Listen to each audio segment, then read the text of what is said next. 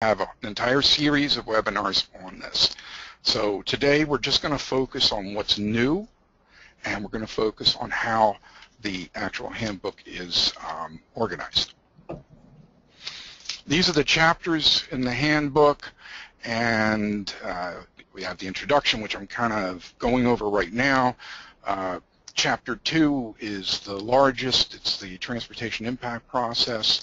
Uh, we had a question earlier about what was an LGCP, and that is a local government comprehensive plan, and that's a, a Florida term that uh, is passed around a lot, the same as DRI, or Developments of Regional Impact. And Chapter 5 is about mitigation. It's what do we do when we find out what impacts we expect. There are resource guides throughout this handbook, and they've been one of the most popular features. By using internet links, you will be able to find the most up-to-date information even if the printed version of this handbook uh, becomes out of date.